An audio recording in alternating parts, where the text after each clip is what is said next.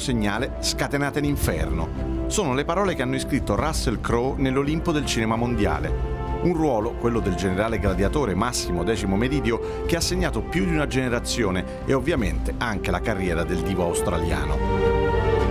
Nato nel 1964 da Alex e Jocelyn addetti al servizio catering sui set cinematografici, Crow respira sin da piccolo l'odore della celluloide. All'età di 8 anni recita il ruolo di un orfano nel serial tv Spy Force e a 17 decide di lasciare il liceo per inseguire il sogno di una carriera nello showbiz. Indeciso fra fare musica e recitazione, continua nel tempo a coltivarle entrambe. Il debutto sul grande schermo è del 1990 con il film The Crossing, Durante la lavorazione incontra la futura consorte Danielle Spencer. Dal loro rapporto nasceranno due figli, Charles e Tennyson. Il 1997 è l'anno della svolta. La memorabile performance del brutale detective White nel corrottissimo noir LA Confidential lo impone all'attenzione di pubblico e critica. Alle soglie del 2000 arriva il gladiatore di Ridley Scott. Il ruolo gli frutterà un Oscar, meritato anche per la passione con cui, sono parole sue, si impegna a modificare insieme al regista una sceneggiatura che all'inizio non li convince proprio. Seguono A Beautiful Mind, Master e Commander, Cinderella Man e moltissimi altri film. La sua passione resta però la musica, binario parallelo al cinema. Lo porta a suonare in tutto il mondo e gli regala moltissime soddisfazioni una sorta di ritorno a casa, proprio come quello sognato da Massimo, decimo meridio. Tornerò presto, promesso. Ed è con grande piacere che diamo il benvenuto su Rai 1 a Russell Crowe. Buon pomeriggio. Ma è vero che il suo... Eh, eccoci qui, è vero che il suo eh, nome da ragazzo quando faceva il musicista era Russell Le Rock, Le Rock.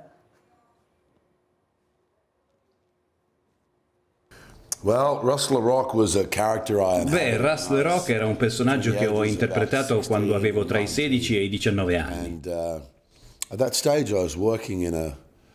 in quel periodo lavoravo in un night, un anacronistico night degli anni 50 in cui Avevano tutti un soprannome. Uh, Io ero il più giovane e quindi l'hanno affibbiato a me.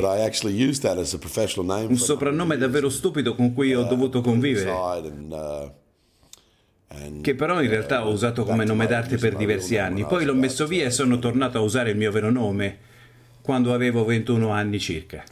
La musica l'ha sempre accompagnata. Ecco, è anche, non so, un'espressione di libertà per lei?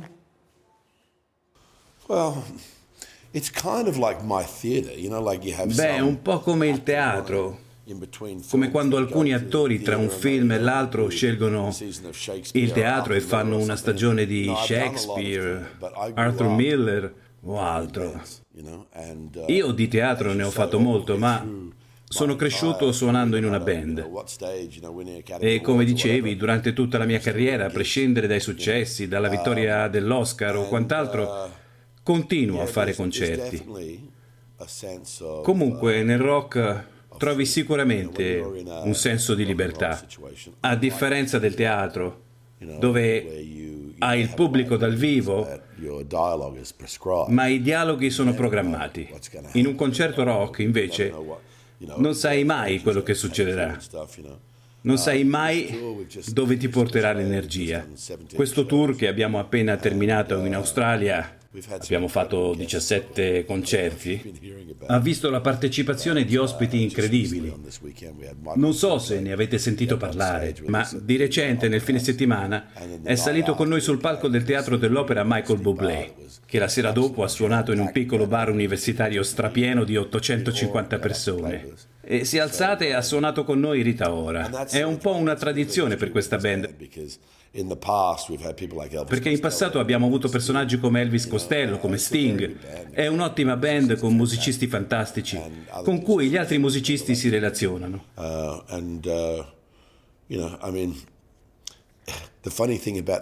Da questo tour ho imparato che forse sto un po' invecchiando. Ma no! Le tournée sono roba da giovani. È stato piuttosto difficile, però adesso non vedo l'ora di fare questi concerti in Italia. Sarà divertente. E noi saremo divertitissimi di seguirli con lei. Vediamo in questa clip appunto come lei invita a seguire i concerti del Bagna Grecia Festival. I'm not sure what time it is when you get to see this, so buongiorno o buonasera. Sono molto contento di aprire il tour italiano con la mia band Indo Garden Party e Catanzaro e celebrare i 20 anni del Magna Grecia Film Festival. Vi aspettiamo il 20 giugno al Teatro Politiama di Catanzaro.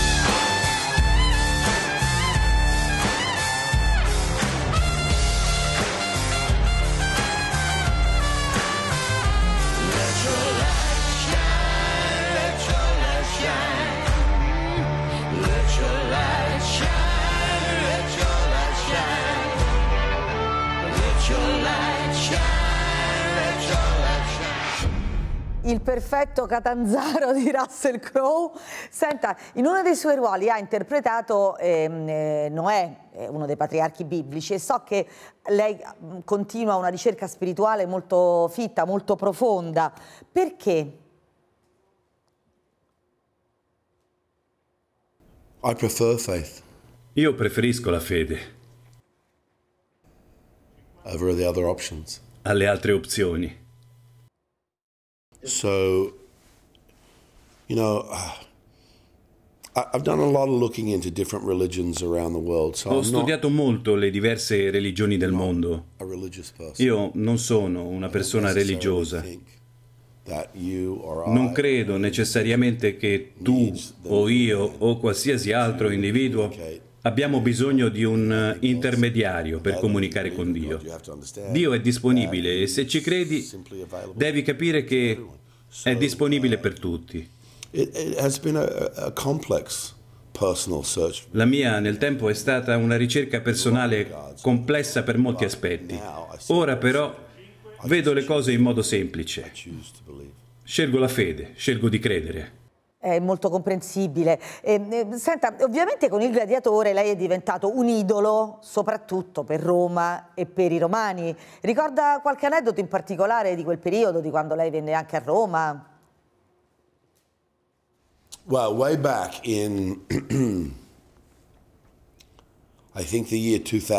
Vabbè, credo fosse And, uh, nel 2000. It was probably two or three months after Gladiator had come. Due o tre mesi dopo l'uscita del Gladiatore. Avevo avuto uh, un discreto successo, il film aveva attirato grande attenzione e io avevo guadagnato un uh, sacco di soldi, ottime recensioni, eccetera, eccetera.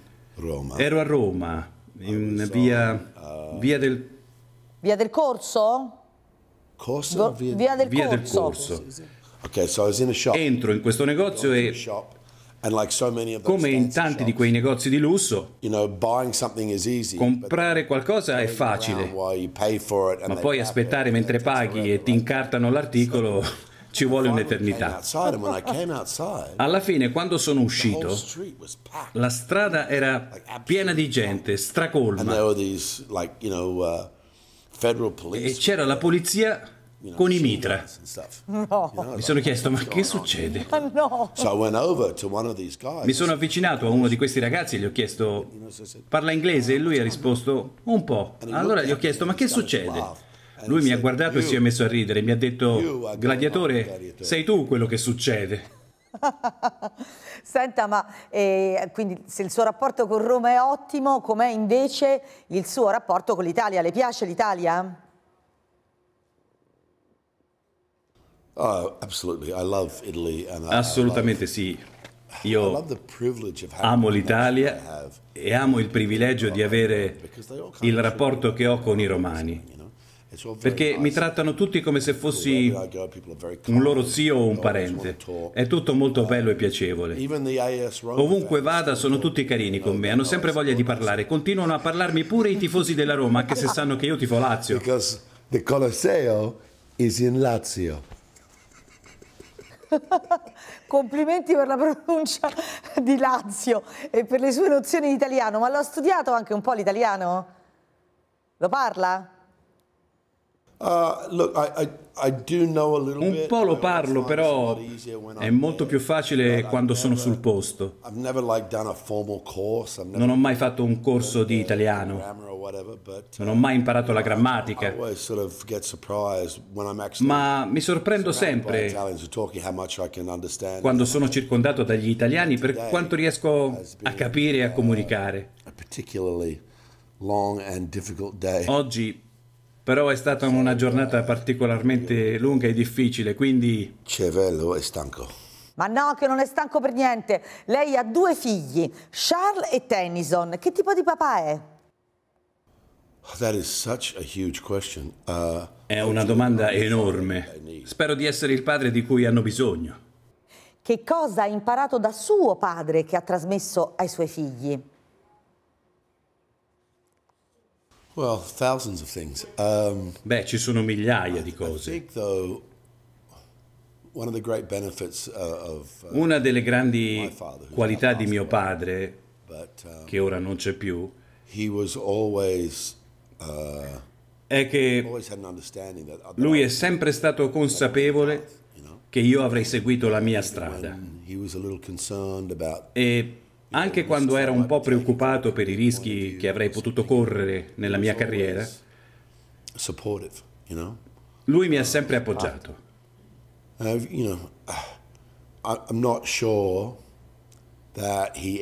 Non so se lui abbia mai creduto a quello che io ritenevo possibile, però non me lo ha mai fatto capire. Non mi ha mai detto che qualcosa fosse impossibile.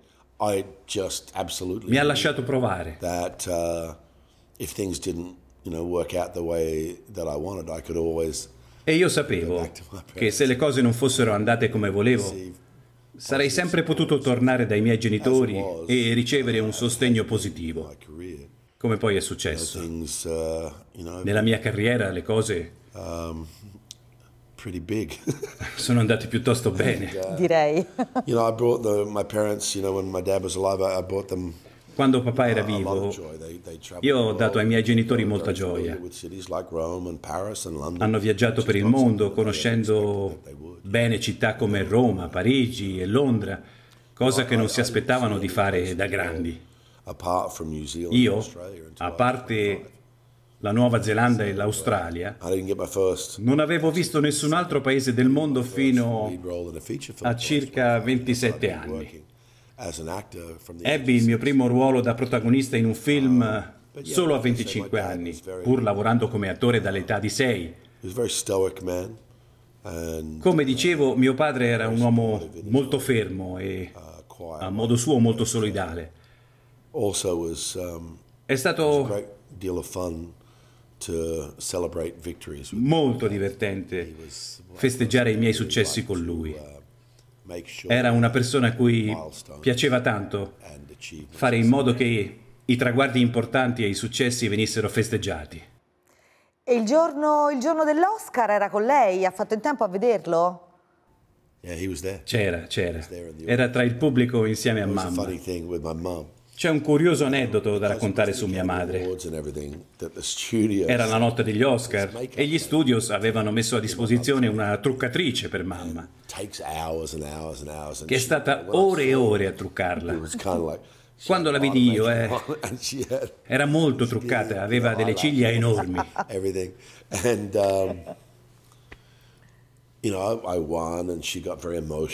Io vinsi l'Oscar e lei si commosse tantissimo.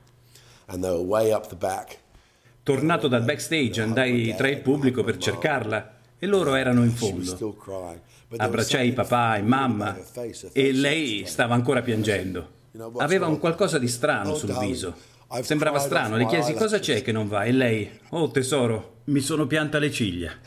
Ma che, me ma che, meraviglia, che tenerezza.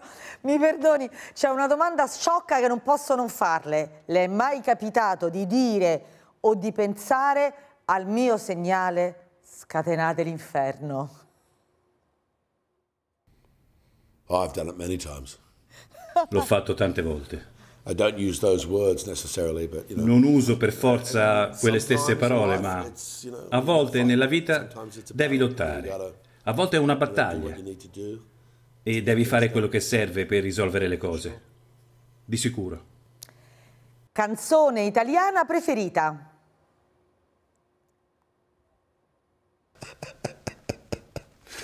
Oh, my lord.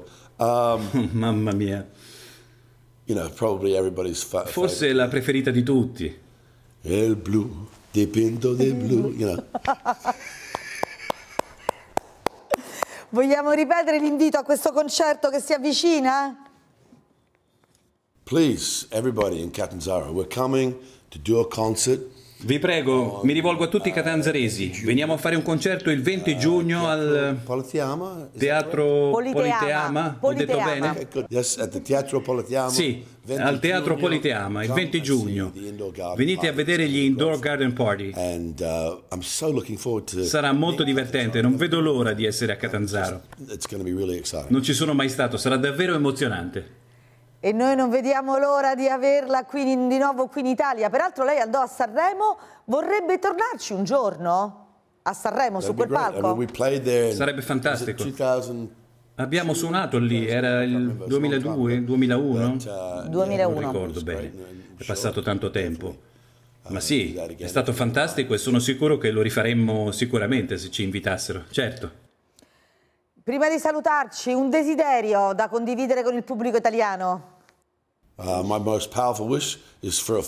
Il mio desiderio più grande adesso è che ci sia il pienone a Catanzaro. Un super pienone, l'aspettiamo e ci godiamo in quest'ultima clip, sempre Russell Crowe che suona. Arrivederci, a presto! Grazie mille. Ciao ciao. Ciao ciao ciao!